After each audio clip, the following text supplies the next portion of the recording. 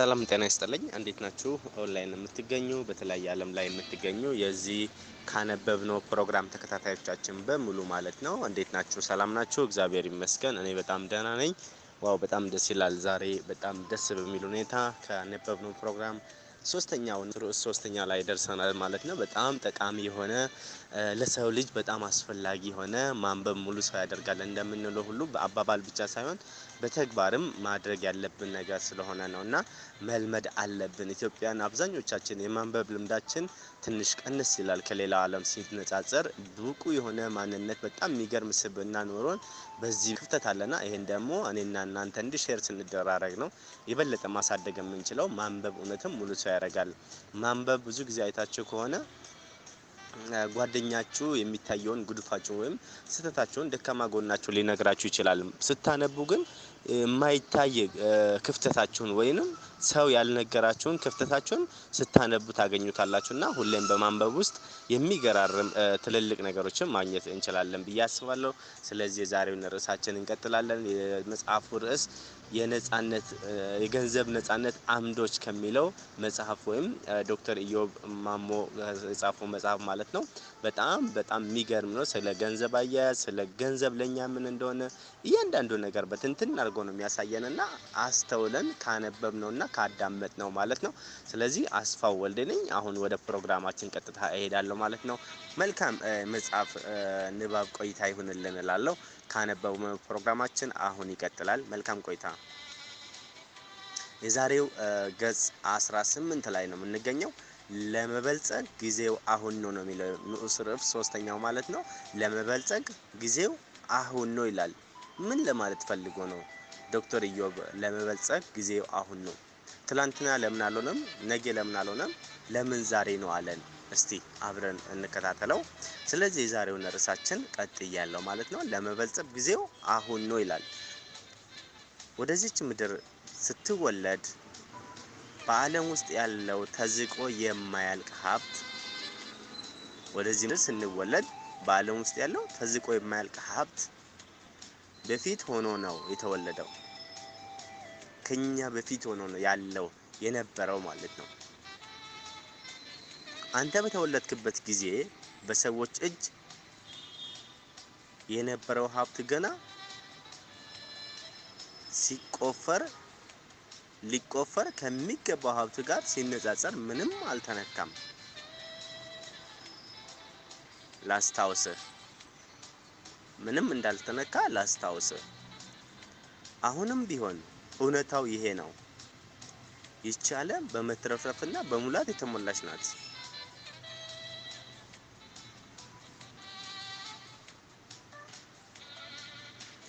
ይህ የሆነበት ምክንያት በአንድ ጎኑ በአንድ ጎኑ በዓለም ላይ ልንጠቀምበት ከሚለው ሀብት በላይ በመኖሩ ሲሆን በሌላ ጎኑ ደግሞ ከዚህ በፊት በሌላው ሰው ታይቶ ተደምሮ ተጀምሮ ታይቶና ተጀምሮ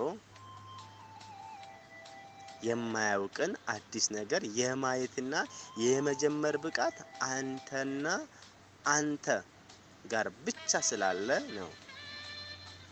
ተጀምሮ የማያልቅ ሀብት የሀብት ምንጭ ምንድን ነው? አእምሯችን ነው ማለት ነው። እኛ ጋር አለ እችላለሁ የሚል ማንነት ካሳደርን እንችላለን። ሁሉ ነገር የኛ ነው ማለት ነው። እነዚህን ከላይ የተጠቀሱትን የሀብት ምንጮች ደምራቸውና በዚያ ላይ አንድ ስሌት ጨምርበት። በዚህ ዓለም ላይ የተፈጠረ ሀብት በፈጣሪውና ባለቤቱ ሰው ሲያልፍ ሀብቱ አያልፍም። ይሄን ሀብት ያመጣው ወይም አባቶቻችን ሀብታም ሆነው ሊሆን ይችላሉ። እነሱ ሰርተው ሀብት እነሱ ሲሞቱ ግን ሀብቱን ይዘውት አይሄዱም። እዚሁ ለእኛ ጥለውልን ነው የሚሄዱት ማለት ነው። የሚቀጥለው ትውልድ ይረከበዋል ማለት ነው። በሌላ አባባል እስካሁን የተጠራቀመ ሀብትና ገና የአንተ ፈጠራ ብቃት የሚጠብቀው ሀብት ድምር ቁጭ ብሎ ይጠብቅሃል። ለመበልጸግ ጊዜው አሁን ነው ስንል አባባሉ በብዙ መልኩ ማየት ትችላላችሁ። አንደኛ በመጀመሪያ ዛሬ ያገኘኸውን እድል ነገ ልታገኘው እንደማትችል ማሰብ። ዛሬ የተሰጠን እድል ዛሬ በራችን የሚያንኳኳውን እድል ነገ ማግኘት እንደማንችለው ማሰብ አለብን ማለት ነው። በመቀጠልም ዛሬ ያገኘነው እድል ነገ ደግመ ደግመ ብታገኘው እንኳን ዛሬ በራችን የተንኳኳው እድል የመጣልን እድል ነገ ደግመን እንኳን ብናገኘው አንተና የአካባቢ ሁኔታ ስለሚለወጥ ዛሬ ልትጠቀምበት በምትችለው መልኩ መጠቀም ሊያስቸግረን ይችላል። አይገርምም? ትላንትና ያገኘነው እድል ዛሬ ቢመጣልን ማለት ነው። እድሉን ደጋግመን ብናገኘው እንኳን እኔና አካባቢያችን እኛና አካባቢያችን ምን ያደርጓል ስለሚለዋወጥ በዛ ሰዓት ልንጠቅም ዛሬ ላይ ልንጠቀምበት አንችልም። ስለዚህ የመጣልንን እድል ማሳለፍ የለብንም። ዛሬ የሚሆን ነገ ቶሎ መቀበል አለብን ነው የሚለን።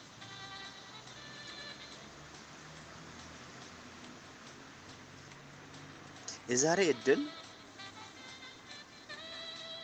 የወቅቱ እውነታና የአንተ ሁኔታ ያላቸው የኬሚስትሪ ውህደት ከየትም የማይገኝን እድል ይፈጥሩልሃል።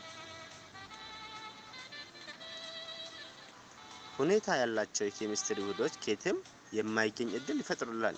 ስለዚህ ዛሬን ስለ ገንዘብ ሁኔታ በሚገባ ልታስብ ስለዚህ ዛሬ ስለ ገንዘብ ሁኔታ በሚገባ ልታስብበትና ወቅቱን ያመጣጠነ እድል ሳያልፍህ የገንዘብ ነጻነት ዘር የገንዘብ ነጻነት ዘር ለመዝራት መነሳሳት ያስፈልገናል። ዛሬ ተነሳሽነት ሊኖረን ያስፈልገናል ማለት ነው።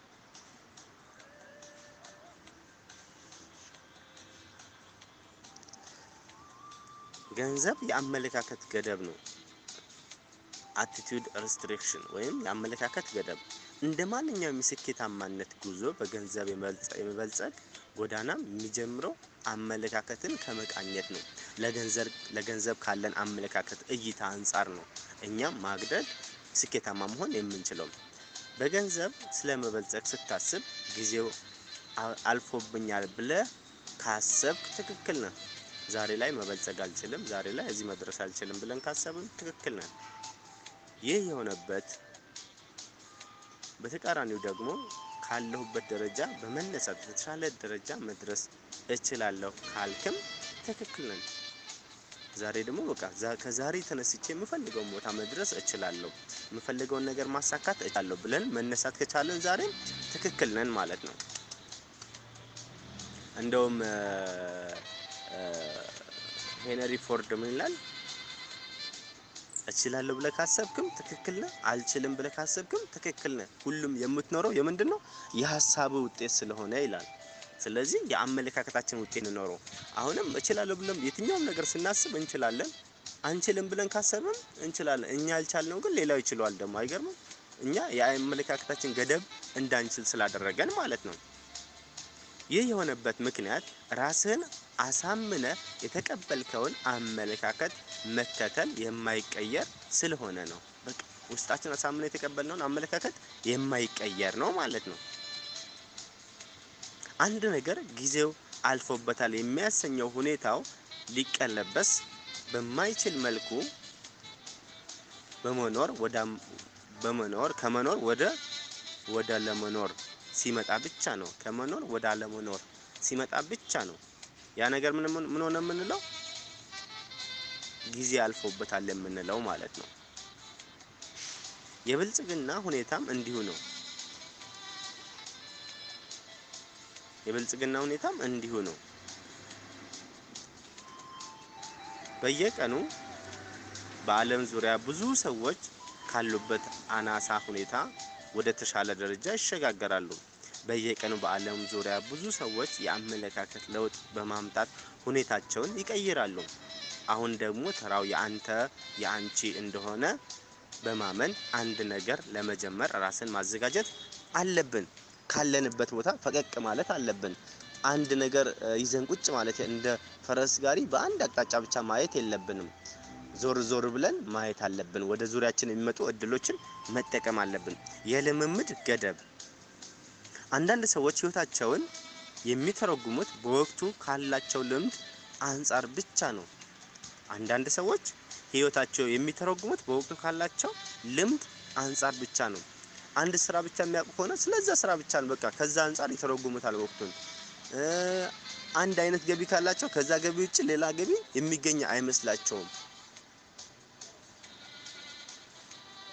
በአንድ ነገር ላይ አትኩሮ ያሉ ከዛ ነገር ውጭ የሚሆንላቸው አይመስላቸውም። ልክ ከውሃ ውስጥ እንደወጣች አሳ ማለት ነው የሚሆኑት። ተቀጥሮ የሚሰራ ከሆነ ከቅጥር ከወጣ ሌላ ስራ ከጀመረ በቃ የሚሞት ነው የሚመስለው። የሚኖር ሳይሆን የሚሞት ይመስለዋል ማለት ነው። ስለዚህ እንዲህ አይነት ህይወት ነው አብዛኛውም ጊዜ። ሁሉም ነገር የተሳካ ጊዜ ስኬታማ ነኝ ይላሉ። ሁሉም ነገር የተሳካ ጊዜ ስኬታማ ነኝ ይላሉ። ነገሮች አልሳካ ሲሉ ደግሞ ስኬት ቢስ እንደሆኑ ማሰብና አምነው መቀበል ይጀምራሉ። ይሄ ነው አንዱ ገዳይ ነገር። ጥሩ ሁኔታዎች ሲመቻቹልኝ እኔ ስኬታማ የሆነ ውጥቀት ሲገጥመን ደግሞ እኔ ስኬት ቢስ ነኝ፣ እኔ አይሆንልኝ፣ እኔ እድል የለኝም፣ እኔ መለወጥ አልችልም እያለን ለራሳችን የምንነግረው ነገር የእኛን ህይወት ይገድበዋል፣ እንዳናድግ ያደርገናል ማለት ነው።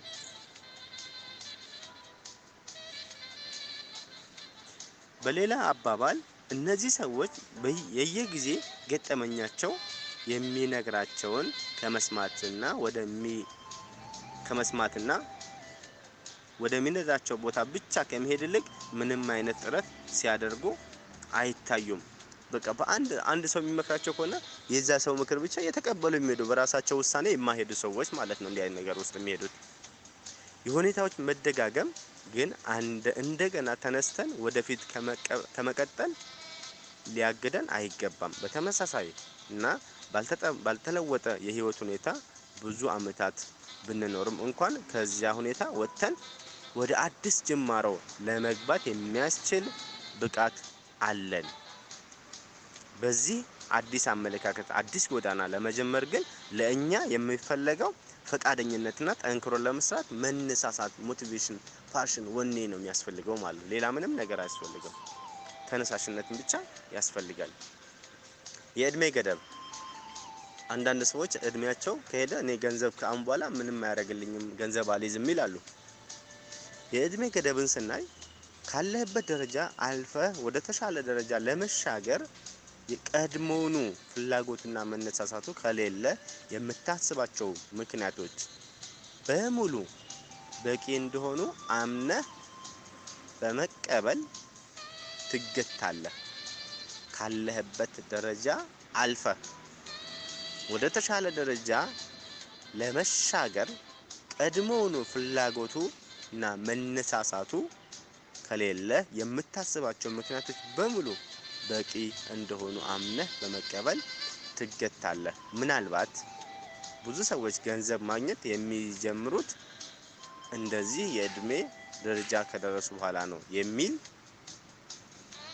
ሀሳብና ገና ሀሳብ ገና ለጋ ነኝ በማለት የምትጠብቅ ከሆነ ተሳስተሃል።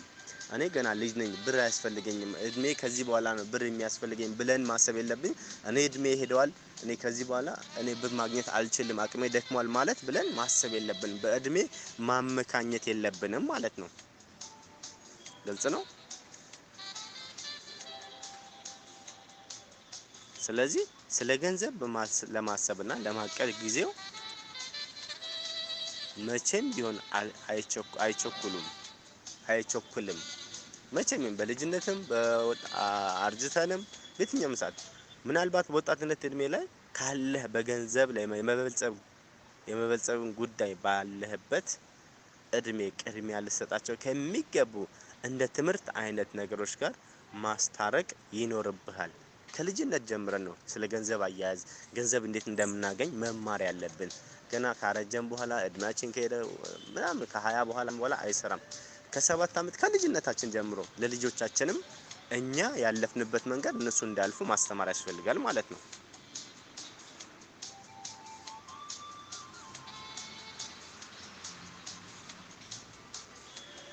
እድሜ ቅድሚያ ልንሰጣቸው ከሚገባቸው እንደ ትምህርት አይነት ነገሮች ጋር ማስታረቅ ይኖርብሃል እንጂ በገንዘብ ስለመበልጸግ ለማሰብና ለመዘጋጀት ጊዜው ቸኩሎ አያውቅም።